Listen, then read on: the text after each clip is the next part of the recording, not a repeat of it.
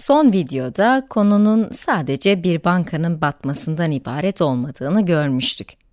Bir banka iflas ettiğinde vermiş olduğu kredilerin bir kısmı muaccel hale gelir. Yani banka bu kredilerin vadeleri henüz dolmamış olsa dahi erkenden geri ödemelerini isteyebilir. Bizim durumumuzda da A bankasının B bankasından almış olduğu krediler muaccel hale gelmiştir. Bu aktiflerini likide edememiştir ve elindeki CDO'ları da bu kredisini kapatmaya yetecek bir paraya satamamıştır. Böylece A bankası iflasını ilan etmek zorunda kalmış ve bunun birbirini etkileyen bir olaylar zinciri yarattığını da daha önce görmüştük. B bankasının A bankasına vermiş olduğu bu kredi, yani olaylar silsilesini hızlandıran bu kredi, zarar olarak yazılmak zorunda kaldı.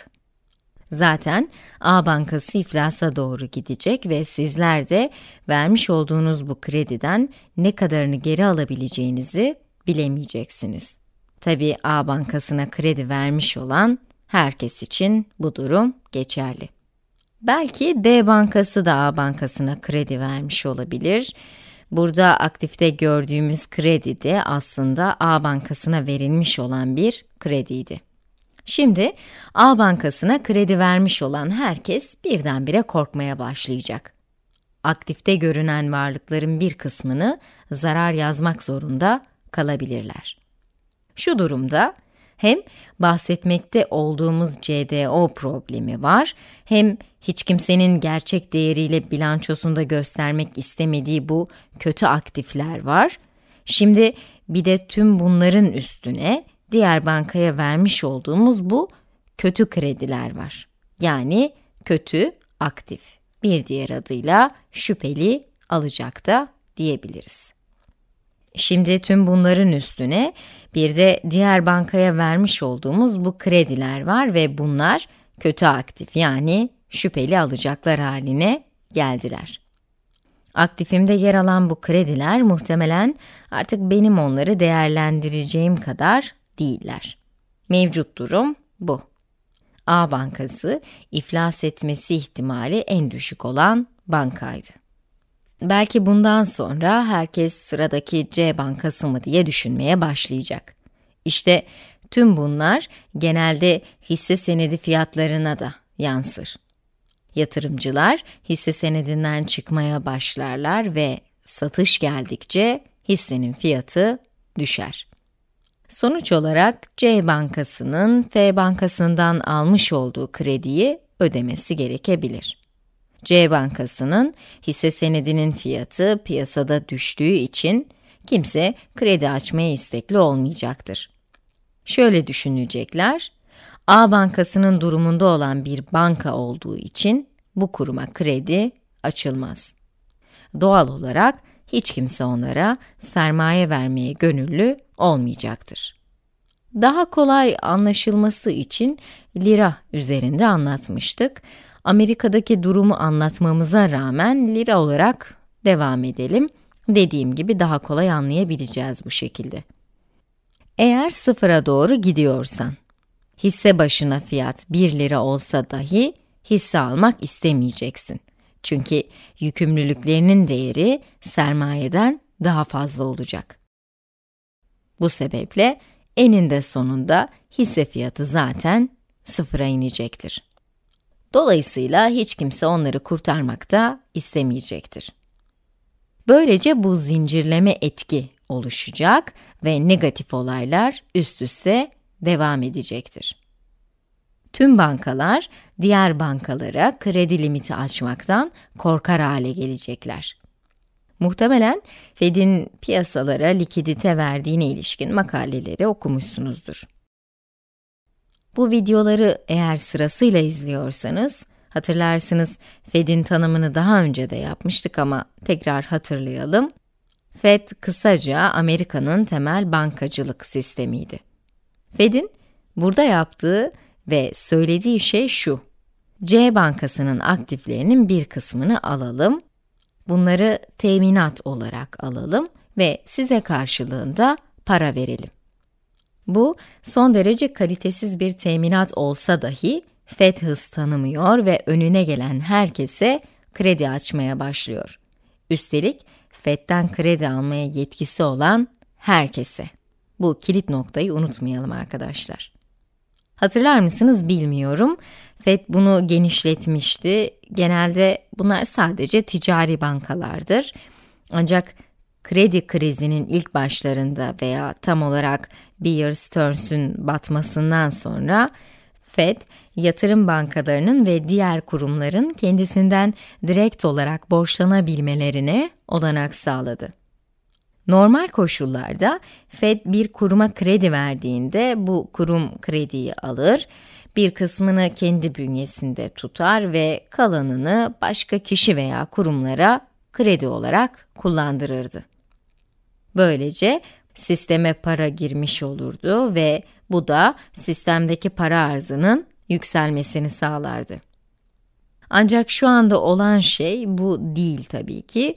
Bankalar FED'den veya diğer kaynaklardan kredi kullandıklarında tabiri caizse bu nakitlerin üzerine oturuyorlar ve başkasına kredi kullandırmıyorlar. Bu durumda söyledikleri şey şu. Aktiflerimin değerini yani kredilerimin durumunu tam olarak bilemiyorum. Vermiş olduğum kredilerin hangilerinin başına ne geleceğini de kestiremiyorum. Bu sebeple borç aldığım kredilerin vadeleri geldiğinde elimde nakit olması en iyisi diyorlar ve sonlarının A bankası gibi olacağından çekiniyorlar. Böylelikle kurumlar FED'den veya diğer kaynaklardan borç alıyorlar ancak bu aldıkları parayı başkasına kredi vermek için kullanmıyorlardı. Yani buna para döngüsü de sağlanmadığı için diyebiliriz. Kısacası para bir tür kara deliğe atılmış gibi oluyordu. Herkes elindeki nakdi sıkıca tutuyor. Şimdi buradaki problemin nerede olduğunu düşünelim. Bariz olan bir şey var ki bir bankanın batması diğer banka iflaslarını da tetikleyebilir. Özellikle de hiç kimse onlara daha fazla kredi açmak istemiyorsa. Diyebilirsiniz ki tek problemimiz bütün bankaların batması mı? Kim bilir belki de dünya onlar olmadan daha iyi bir yer olabilir. Böylece hiçbir şey yapmayan bir sürü insan da artık ortada olmayacaktır. Aslında bunu böyle söylemek istememiştim. Yanlış anlaşılmak istemiyorum çünkü finansal hizmetler sektörü gerçekten çok önemli. Ancak son 5 yıl içerisinde olanlara bakacak olursak, katma değer yaratmıyorlar, marjinli kredilerle hacimleri büyütüyorlar ve sistemdeki riski yükseltiyorlardı. Şimdi bunları bir kenara bırakalım. En kötü senaryoda neler olacak onu düşünelim. Bu durumda yeniden yapılandırılırlar ve tekrar geri gelirler. Bunun tek negatif tarafı ise şu anki hissedarların yatırdıkları tüm parayı kaybedecek olmasıdır. Hadi buna tamam diyelim. Sonuçta risk almadan getiri olmaz. Bunda risk var ve risk hisse senedi fiyatının sıfıra inmesiydi. Ancak bankalar bu sefer yeni sermaye ile geri geliyor olacaklar ve yeni sermayedarlarla piyasaya dönmüş olacaklar. Diyeceksiniz ki bu da tamamdır. Endişe yaratan husus şu ki, bir zincirleme etki olduğunda tamamı sıkıntıya girer.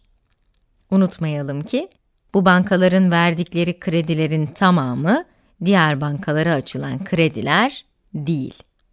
Bu kredilerin bir kısmı reel sektöre açılmış olan krediler.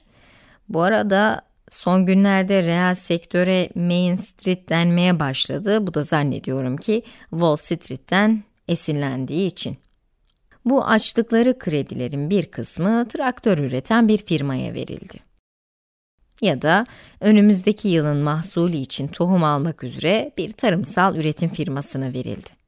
Yani bu kredilerin bir kısmı reel sektöre verildi. Eğer bankaların tümü ellerindeki nakit paranın üzerine oturmaya devam ederse, reel sektöre bu krediler verilmeyecek.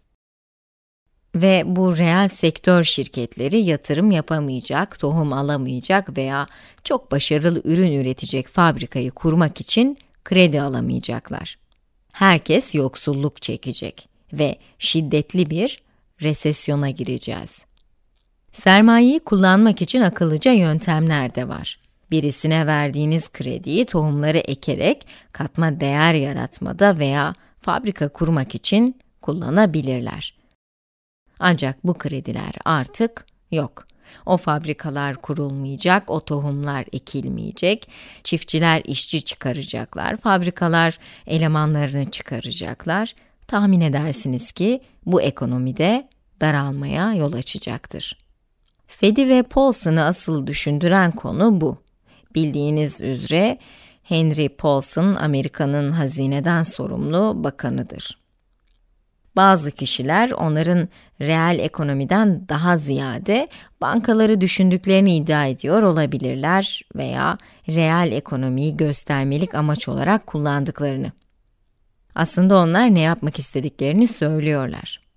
Diyorlar ki, bu konunun odak noktası CDO'lardaki bu toplam 2 milyar lira, her bir bankadaki tutarı ne kadarsa, tabi insanlar bunun gerçek değerinin karşılığını alabilirlerse, eğer bilançolarındaki bu 2 milyar lira gerçekten 2 milyar lira değerinde nakde çevrilebilseydi, ortada bir problem olmayacaktı. Zaten kredilerin vadesi geldiğinde eğer bu 2 milyar liranın gerçekten bu değerde olduğuna inanıyorsanız, bütün bu bankaların net değeri de artıda olacaktı. Hepsi pozitif sermayeye sahip olacaktı ve tüm bu zincirleme reaksiyon olmayacaktı.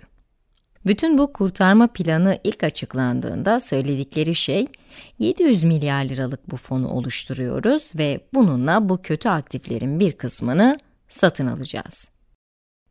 Ve ilk başlarda söyledikleri şey, bunları iskontolu olarak satın alacağız ve vadeye kadar tutacağız. Vadeleri geldiğinde aslında kar ediyor bile olabiliriz. Düşündüm ki, tamam bunlar kulağa hoş geliyor ancak bu anlatılanlar bu işi nasıl çözecek? Zaten bu bankaya gidip bu CDO'ları alacaksınız. Piyasanın bunlara biçtiği değer sadece 100 milyon lirayken sizin gidip 2 milyar lira ödemeniz çok anlamsız. Niçin 2 milyar lira ödeyeceksiniz ki? Bu 2 milyar liralık değer 2006 yılında yapılmış olan gayrimenkul fiyatlarının düşmeyeceğini baz alan ve konut kredisi kullananların taksitlerini düzgün ödemekte olduğu bir döneme ait. Her şey gül pembeydi. Bu 2 milyar liralık değeri oluşturan varsayımlar bunlardı. Eğer bu aktifler için 2 milyar lira ödeyecek olursanız C bankasını kurtarmış olursunuz. Aslında gerçek değeri çok daha az eden bir şeyi satın alıyor olacaksınız ve eğer vadeye kadar elinizde tutuyor olsanız dahi hiçbir zaman bunun gerçek değerinin 2 milyar liraya ulaştığını göremeyeceksiniz. Bu kurtarma planını ilk okuduğumda biraz iskontolu alacaklar ancak bu durumu kurtarmaya yetmeyecek diye düşündüm. Çünkü diyelim ki bunların değeri lira başına sadece 0,10 lira olsun. Eğer 2 milyar liranın %10'unu ödemiş olsalardı, Fed piyasaya girip bunların tamamı için 200 milyon lira ödemiş olsaydı ki aslında bu 200 milyon lira değeri de tam olarak net değil belki piyasanın bunlar için ödemek istediği tutar sadece 100 milyon lira. Diyelim ki FED piyasaya girdi ve bunlar için 200 milyon lira ödedi. Bankalar bu CDO'ların kendi bilançolarındaki değerini 200 milyon liraya indirmek zorunda kalacaklar. Bu da 1.8 milyar lirayı zarar yazmak zorunda kalmaları anlamına gelecektir. Bir zamanlar bilançolarında 2 milyar lira değerinde görünen varlıkları artık 200 milyon lira değerinde olacak. Eğer 1.8 milyar lira zarar yazarsanız net sermayeniz negatif 800 milyon lira olacak. Ve bu durumda gene müflissiniz. Gerçek şu ki bu işleri sadece daha zora sokacaktır. Eğer FED piyasaya girip bunları ölü fiyatına alsaydı, bu muhtemelen daha doğru bir fiyat olurdu. Eğer bunun az üstünde bir fiyattan alıyor olsaydı, ama yine de iskontolu bir fiyattan, bu yine de bankayı bu aktife ilişkin olarak zarar yazmak zorunda bırakabilirdi.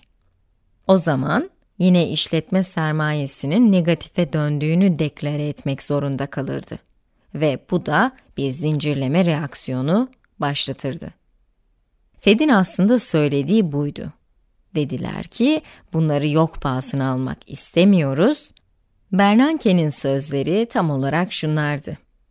Bunları yok pahasına almayacağız, bunları vade sonu fiyatına bakarak iç verim oranıyla iskonto edeceğiz. Bana göre burada Fed'in söylediği, bankaların pozitif sermayeye sahip olmaya devam edebilmeleri için bu aktiflerine yeterince para ödeyeceğiz. Ki bu bankalar vadesi gelen yükümlülüklerini karşılamaya devam edebilsinler. Bunun aslında kötü bir fikir olmadığını söyleyebilirsiniz. Ben diyorum ki bu berbat bir fikir. Çünkü bunların gerçekte değeri 100 milyon liraysa ve siz bunlar için 2 milyar lira ödüyorsanız, aslında devlet adına 1.9 milyar liralık çek yazıyorsunuz demektir. Diyelim ki bunun gerçek değeri eksi 0.8 milyar lira olsun. Veya işleri daha da basitleştirmek için diyelim ki gerçek değerleri 0 olsun. Gerçek değerleri 0 ve devlet bunlar için 2 milyar lira ödüyor. Bu durumda devlet, bu şirketin hissedarlarına 2 milyar liralık bir çek yazıyor demektir. Bunun net sermayesi eksi 1 milyar lira. Ancak devlet onlara 2 milyar lira veriyor ki, onlar da milyar dolarlarını geri alabilsinler. Ve bu durum, bu kurumun tahvillerini ellerinde tutan yatırımcılar açısından yararlı. Zira bunun değeri sıfırlanırsa bu yatırımcılar zarara uğrayacaklardı. Bu 3 milyar liranın sadece bir kısmını geri alabileceklerdi. Yani bu pasif kalemlerinin değeri azalacaktı. 4 milyar lira alacaklı olan bu grup sadece 3 milyar lira geri alacaktı. Yani devlet bu iş için 2 milyar lira ödeyecekse aslında 1 milyar lirayı hisse senedi sahiplerine yani sermayedarlara ve 1 milyar lirayı da tahvil sahiplerine veya bu şirkete borç vermiş olanlara ödeyeceği anlamına geliyor. Ve bu gruplar çek yazılacak en kötü kişiler. Çünkü bu kişiler aslında hiç verilmemiş olması gereken kredileri verdiler. Bunlar risk almış olan kişiler son 5 yılda cömertçe nemalandılar.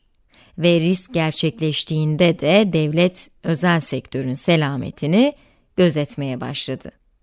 Bana göre bu en kötü fikir. Çünkü devletin argümanı şu, kötü olduğunu ben de biliyorum ve bunlar ödüllendirilmek istemediğimiz kişiler, ancak bunu yaparak aslında reel ekonomiyi kurtarmış oluyoruz. Çünkü bu sayede dalganın halka halka büyümesini engelleyeceğiz.